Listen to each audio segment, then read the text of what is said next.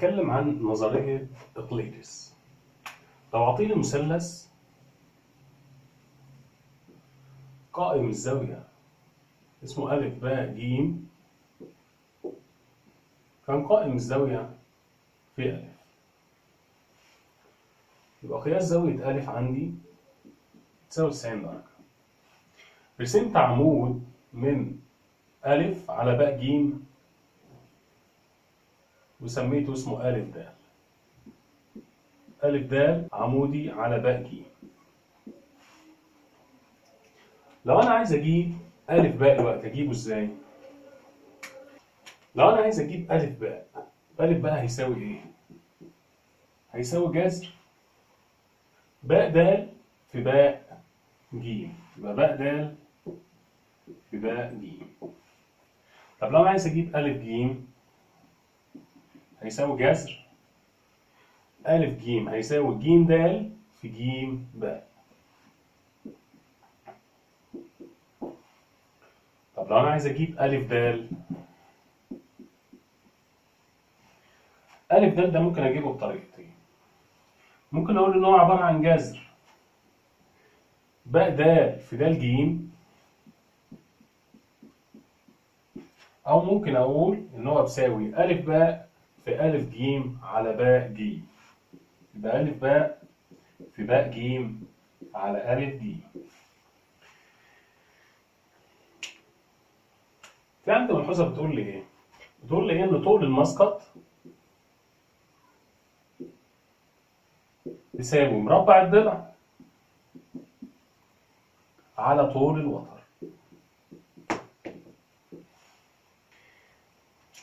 يبقى نظرية إقليدس بتقول إيه؟ لو عندي مثلث أ باء ج كان قائم الزاوية في أ ورسمت عمودي من أ على باء ج سميته أ د يبقى أ د دلوقتي عمودي على باء ج فلو أنا عايز أجيب أ باء هجيبها إزاي؟ يبقى جذر باء د في باء ج طب لو أنا عايز أجيب أ ج يبقى يساوي جذر ج د في ج باء طب لو أنا عايز أجيب أ باء لا إما هقول جذر باء د في د ج إما أقول أ باء في أ ج على باء ج إحنا عندنا طول المسقط بيساوي مربع الضلع على طول الوتر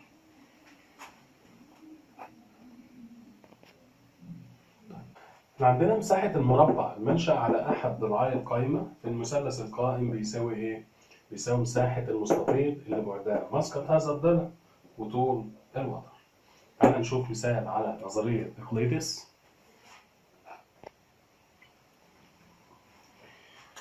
أعطينا مثلث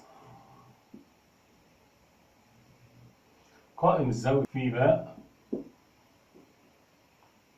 رسم عمود من باء على أ ج سمى النقطة دي اسمها د بيديني أ د ب 16 سم بيديني د ج ب 4 سم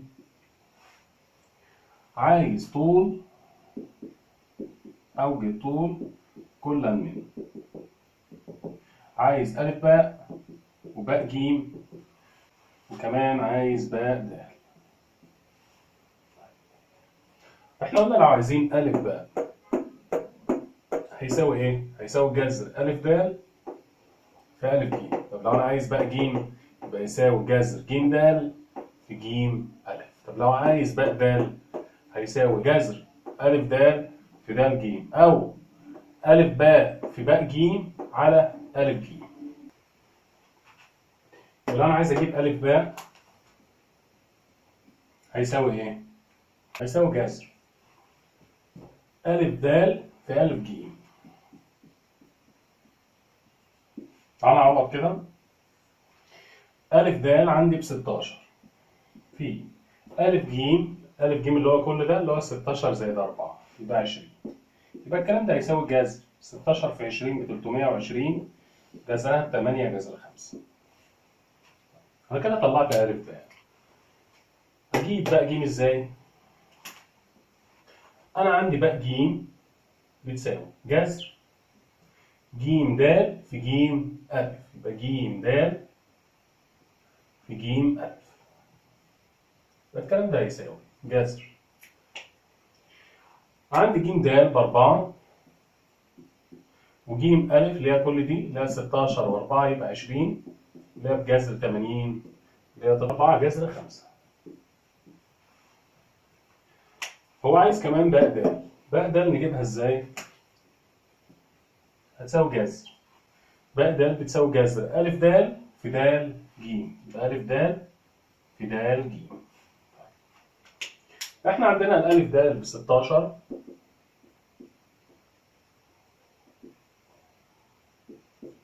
في د ج اللي هي بأربعة. اللي هي تساوي جذر. الأربعة في 16 بأربعة وستين وجذرها بكام؟ بتمانية. يبقى أنا طلعت ألف باء. طلع بتمانية جذر خمسة. وطلعت باء جيم. طلع بأربعة جذر خمسة. وطلعت باء دال. طلع عندي بكام؟ بتمانية. كل ده سنتي نشوف مثال تاني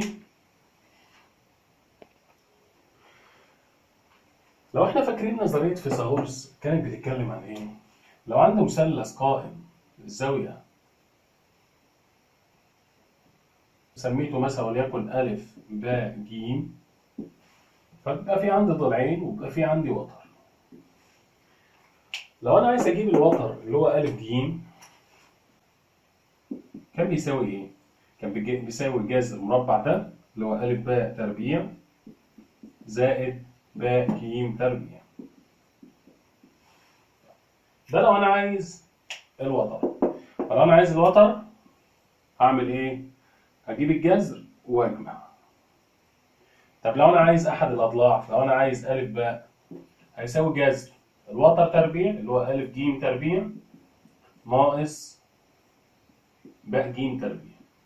يبقى لو أنا عايز أحد الأضلاع هعمل إيه هجيب الجذر وأعمل إيه وهطرح طب لو أنا عايز أجيب ب ج هيساوي إيه هيساوي جذر بردك الوتر ناقص الضلع يبقى جذر أ ج تربيع ناقص أ ب تربيع بردك هعمل إيه؟ أنا دلوقتي عايز الضلع يبقى أعمل إيه؟ بردك هجيب الجذر وأعمل إيه؟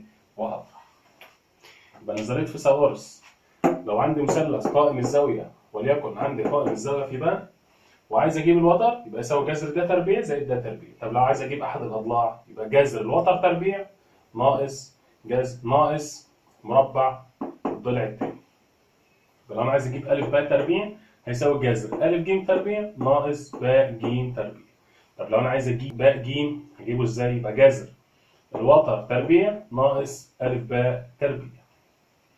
يبقى جذر. ا ج تربيع ناقص ا ب تربيع. ده كان نظرية فيثاغورس. تعال نشوف مثال. عطيلي ا ب ج مثلث أ ب ج قائم الزاوية في باء. مديلي إن باء د عمودي على أ ج مديلي أ د ب 3 سم وباء د ب 4 سم عايز طول أ باء وعايز مسقط باء ج على أ ج وعايز مسقط أ ج على باء ج فالأول تعالى نجيب المطلوب الأولاني. هو عايز أ باء. طول أ باء. فاحنا لو مسكنا المثلث ده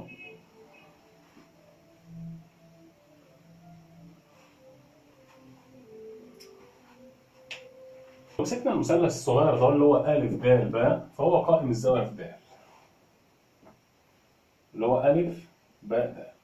كان مديني إن أ د ب 3 سم. وأعطيلي باء د ب 4 سم. تعالى كده نطبق نظرية فيثاغورس. هنقول من نظرية فيثاغورس لو أنا عايز أجيب الوقت ده الوتر. لو عايز أجيب ا ب هيساوي إيه؟ هيساوي جذر المربع ده زائد مربع ده. يبقى 3 تربيع زائد 4 تربيع. 3 تربيع ب 9 4 تربيع ب 16 يبقى هتساوي جذر. جذر 25 اللي هتطلع عندي بكام؟ بخمسة. يبقى 5 سم. يبقى أ باء ده طلع عندي بخمسة سم. ده كان المطلوب اللي هو الأولاني. هو عايز مسقط باء ج على ألف ج باء ج على ألف ج باء ج ده مسقط ج هي نفسها. طب مسقط ده اللي هي العمودي على ألف ج اللي هو عند النقطة يبقى تاني مطلوب اللي هو مسقط باء ج على ألف ج هو إيه؟ هو د ج د ج دي. أعرف أجيبها. إحنا عندنا د ج دي. أنا عايز أجيب دلوقتي د ج من نظرية إقليدس لو أنا عايز أجيب باء د هتساوي الجذر. ألف د في د ج ألف د في د ج أو ممكن أقول إن باء د تربيع بتساوي ألف د في د ج ده أنا عملت إيه بالتربيع؟ أنا ممكن أكتب القانون لا إما باء د هتساوي جذر ألف د في د ج لا إما أقول إن باء د تربيع بتساوي ألف د في د ج طيب إحنا عندنا باء د ب 4 سم يبقى 4 تربيع. طب ألف د عندنا بكام؟ ب 3 في د ج أعرف أطلع دلوقتي د ج يبقى د ج هتساوي ده على ده. يبقى د ج هتساوي 4 تربيع. على التلاتة. أربعة تربيع تربيع ب 16 على التلاتة تطلع عندي كام؟ خمسة وتلت سم يبقى ده طلع كام؟ خمسة وتلت سم فأنا كده جبت المطلوب التاني طب هو عايز مسقط ألف ج ألف ج أهو على باء ج طيب. مسقط ألف الوقت ده عمودي. مسقط ألف ج على باء ج اللي هو باء ج تعال نشوف هنحلها إزاي. هو عايز مسقط ألف ج ألف ج أهو على باء ج يبقى مسقط ألف ج على باء ج هو إيه؟ هو باء ج تعال نشوف هنجيب باء ج إزاي. نجيبها إزاي؟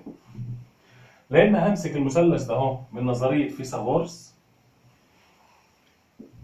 اللي هو باء د ج فأنا عندي د ب 4 سم وعندي د ج ب 5 وتلت سم اعرف أطلع الوقت الوتر يبقى باء ج هتساوي إيه؟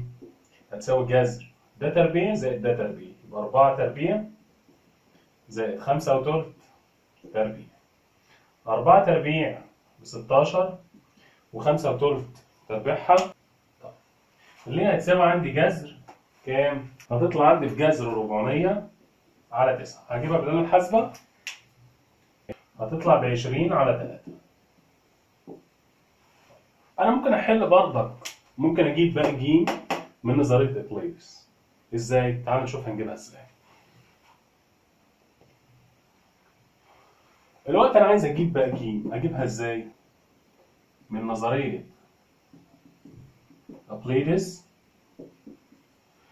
باء ج لو فاكرين كانت بتساوي إيه؟ بتساوي جذر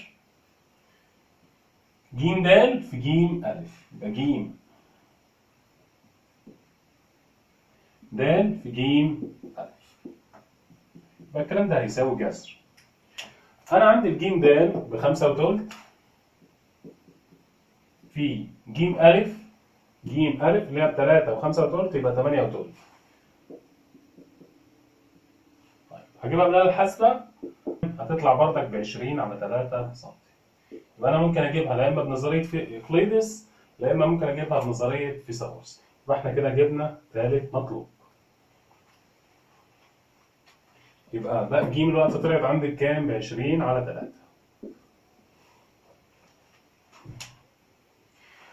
20 على 3 دي بردك هي نفسها كام؟ نفسها 6 و2 على 3